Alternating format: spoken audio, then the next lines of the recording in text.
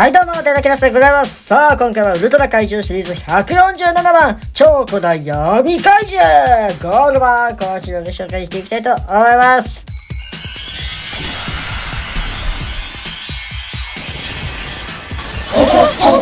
はい、ということで、ウルトラマントリガー第1話に登場いたしました。なんと、ゴルザとメルバが合体したゴルバあ、感想はちょっと後で。まあ、このね、デザインがまずね、すごいびっくりですよね。まあ、ファイブキングとか、メルバとゴルザが合体して、まあ、なおかつ他の怪獣たちが合体みたいなのありましたけども、いよいよゴルザとメルバだけみたいなね、合体。いや、でもこれ熱いですよね。両方とも超古代怪獣、超古代怪竜ですし、なおかつ第1話に出てきたね、ゴルザとメルバですから、これが合体するっていうのは、すごく嬉しいですよね。ぐぐっと。ソフビリングはこんな感じで、爪の部分がしっかり造形されていたりですとか、塗装は結構さっぱり気味なのかなって感じがするんですけれども、えー青い成形色で、このゴルザの紺色感、青じゃない、暗めのトーンを落とした紺色感っていうのがえ再現されていて、塗装はされていないんですけれども、この辺わかるかな？点々点、斑点が結構いっぱいあるのがわかるでしょうか？これね、あの実際、あの白っぽく、シルバーっぽく塗装されてるんですけれども、これがね、ちゃんとあるのがめちゃくちゃ嬉しくてですね、ゴルザの白い点々がめっちゃ大好きなんですよ。ウルトラマンティガーの第1話でパワータイプに変身して、ゴルザに思いっきり抱きつくじゃないですか。あのシーンのね、あのゴルザのギューちょうどあのゴルザのあのシルバーの反転が結構強調されるんですよ。あのシーンすごい大好きで、今回、あ、ちゃんとあの反転あるみたいな。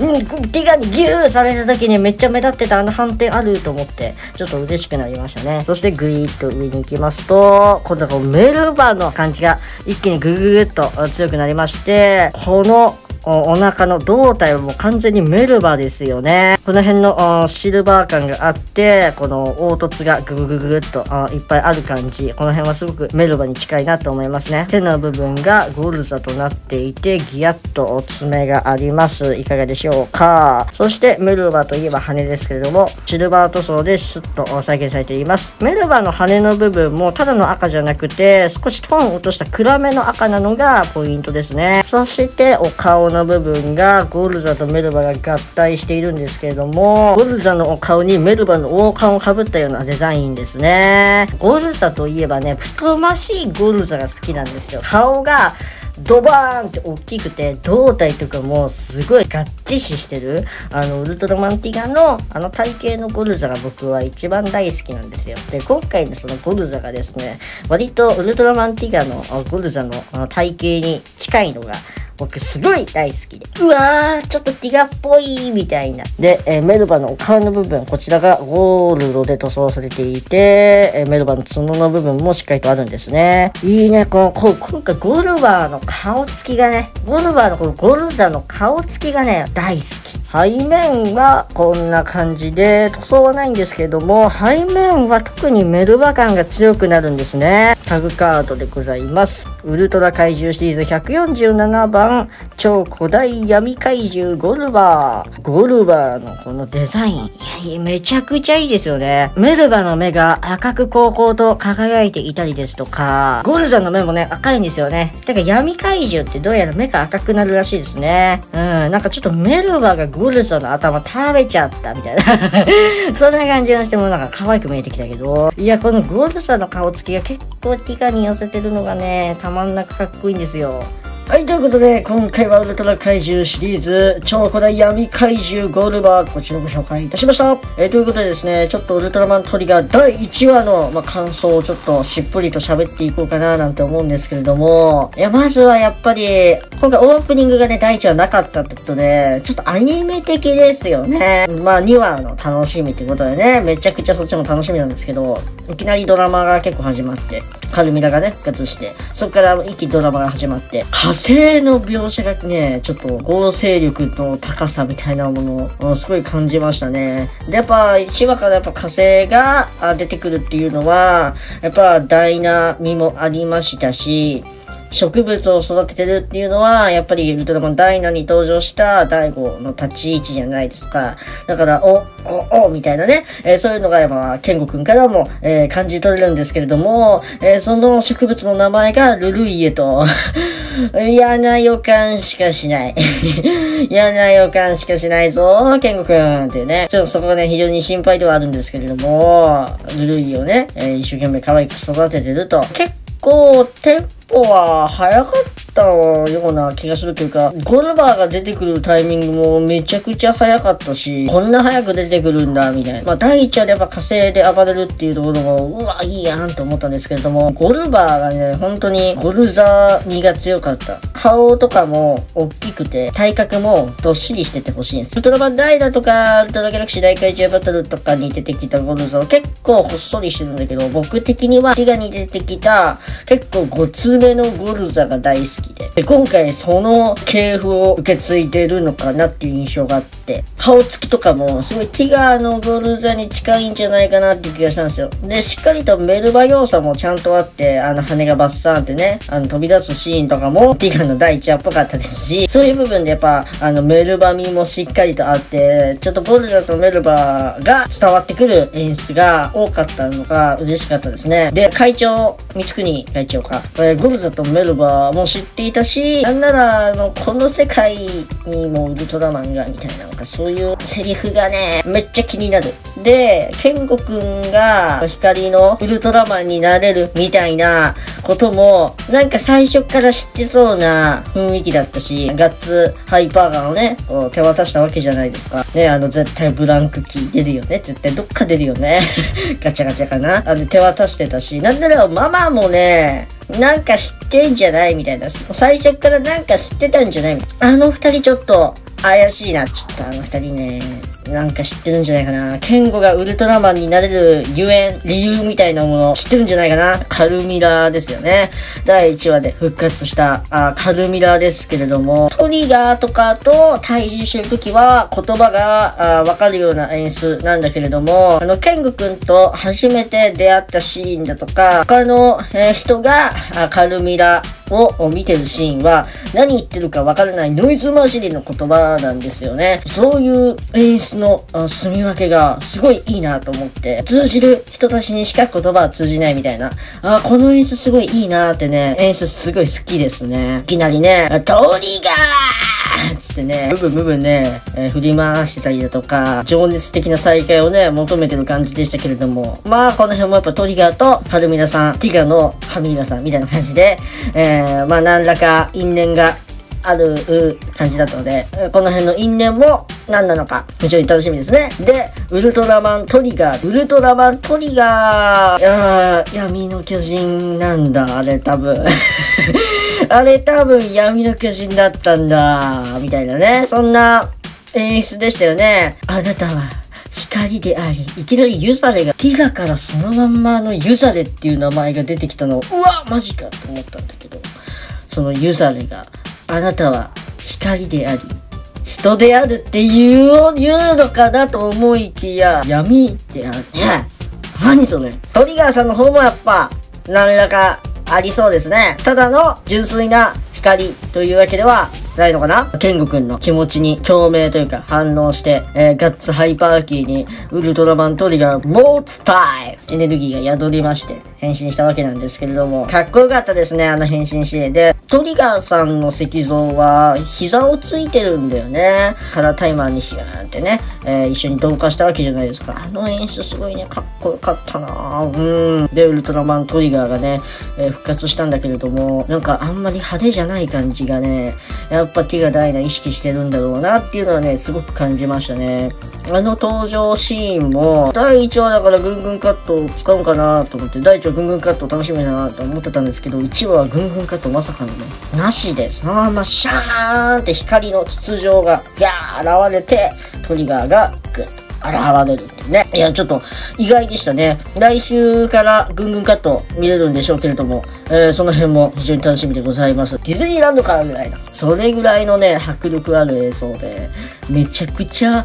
いきなり飛ばすじゃないですか、なんて思ってたら、カルミラさんが出てきて、お来たぞ来たぞ、カルミラさんゴルバー対ウルトラマントリガー来たぞ来たぞみたいな。あの、雨がさ、降ってきて。なんで、あの、初見で見たとき、雨がなんで降ってきたのか、全然わかんなくて。2回目見たら、あ、そういうことだったんだ、みたいな。すごい最初の方に、あ、雨降るな、みたいな。なんかそういうの伏線として、セリフ言ってるんですね、ケンゴくんがね。一応、1回目だと気づかなくて、2回目で、あ、なるほど、そういうことかってね、え気づきましたけれども、雨がザー降ってき、泥がぐじょぐじょ。足元が泥がね、あ、ちょっと泥強くなってきたな。あ、これ、これまた、あ、来るぞと、ウルトラマンジートでね、ベリアルとジードが、あ泥まみれになって、ね、ファイトしてましたけれども、あ、来るぞ来るぞと思ってたら、いや、うん、うん、来るぞと思ったんだけどさ、あれは汚しすぎじゃないですか。トリガー1話からぐちょぐちょよ。もう泥かかったとかそういうレベルじゃないよ。もう全身泥がぐっちょぐちょ。泥ぐちょぐちょやで。カルミラさんも泥ぐちょぐちょやで。あんなにね、1話から汚すかってね、ちょっと笑っちゃったよね。あの辺ちょっとレオミが、そうだ、あの、ゴルバーが出てきたとこかな。地割れのシーンもあって、あの地割れも結構久々なんじゃないかなと思ったんだけど、地割れもちょっとレオっぽいなと思ったね。泥ぐじょぐじょになって、あんな汚すみたいな。んで、しかも、相手がカルミラさんじゃないですか。カルミラさんとトリガーさんが泥まみれになって戦ってるシーンが、ああ、朝から、なんか、これ以上言わないけど、まあまあまあまあまあまあ、まあね、面白いなと思いましたよ。あのシーンでも好きです。で、サークアーズサークルアームズ手にして、そっからトリガー、オープニングのね、トリガー。ドゥルルルルルルルルルルルゴルバーさんをドカーンと爆発させて、で、まだゴルバーさん生きてると。で、えー、もう一発とどめ撃つぞって時に、ゴルバーさんを盾にして、えー、ゴルバーさんがドダダダダダーンと粉砕していくんですけれども、まあ、まずゼペリオン光線でちゃんととどめさせたのは嬉しかったですね。剣で、えー、戦いはするんだけども、ラスト、とどめは必殺光線でとどめを刺すっていうのは、やっぱりウルトラマンっぽいですし、えー、なんかやっぱそういうところはちょっとこだわってるのかなって思いましたし、すごいもうトレンド入りまでしてましたけれども、ゴルバー爆破シーンがまさかのね、人形爆破だったということで、一番最後にやったのがウルトラマンベイビーさんのウルトラ兄弟だったんですよ。だから、もう15年ぶりぐらいですよね。てか、テレビシリーズではだんだんやらなくなってきてたけどね、もうそのメビウスの頃から、うわーマジかみたいな。久々にその人形爆破してるやん、みたいな。あ、人形爆破ね、何がいいってね、あの、パーツがさ、あの、コルバーとかもそうだったんだけど、あの、顔のパーツがさ、ボコーンってさ、ゴロンゴロンってさ、転がってるじゃない。ああいうなんか生の、ちょっと、うわーみたいな、その生っぽさ。生のその肉塊がゴロン飛んでるみたいな、ボコン転がってるみたいな。やっぱああいう感じがね、いいね。やっぱああいうのは、本物をぶっ壊してるからこそ出る臨場感というか生っぽさだと思うので、あれはね、いいですね。まあ、あの、あれがね、できないから、その、いろいろなやり方で怪獣の破壊っていうのもやってましたし、それはまだ大好きですし、あの、一つの手法としてね、あの、これからもきっとやっていくと思いますし、これからも見たいなと思うんですけども、田口監督のタグチップとかまさにそうですよね。うん。ああいうね、アイディアを聞かした、あの、まあ、予算がそんなね、いっぱいあるわけけじゃないですから、毎回毎回人形壊すっていうのも難しいですからね。うん、そういうのもね、すごい大事だと思うんですけども、やっぱこの1話の一番見せ場のね、やっぱ回ですから、やっぱそこでね、いきなり人形爆破をやってのけたと。ウルトラマンティガでもね、メルバがバーンって飛んでたしね。ティガでも結構人形爆破多かったですよね。ティガの雰囲気を感じられるような、あの、怪獣の爆散だったので、あれはすごくいいなぁなんてね、思いましたね。うん。ドラマパートは、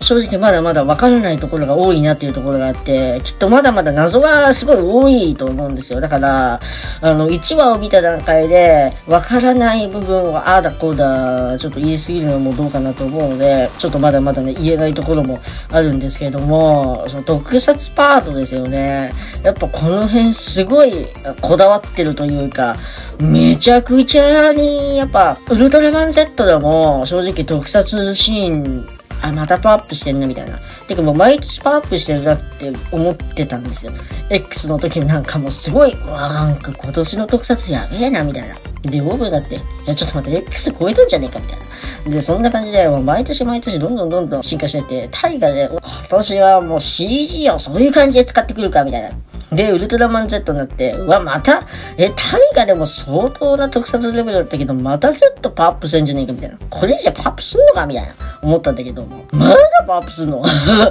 まだやるの？すごいよ、つぶらやさん。ああ、その、毎年毎年目まぐるしい進化を感じるので、やっぱそういうところもね、非常に楽しい、面白いなって思いましたね。ゴルバーさんがね、あのー、ピラミッドをちゃんと狙ったっていうのね。あ、すごいよかったね。あピラミッド狙ったっていうのと、ティガさんが一瞬出てきたっていうの。あおマジかみたいな。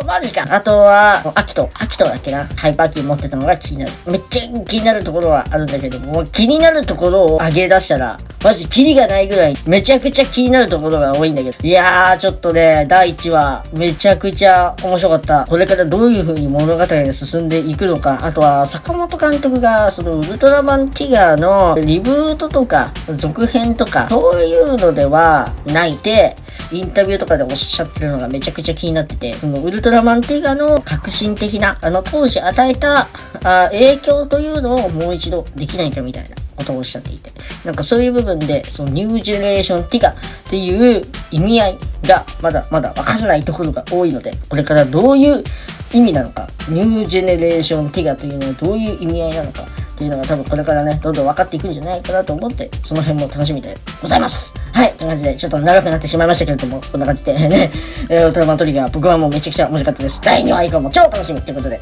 以上、デキラスでした。それでは、バイバイ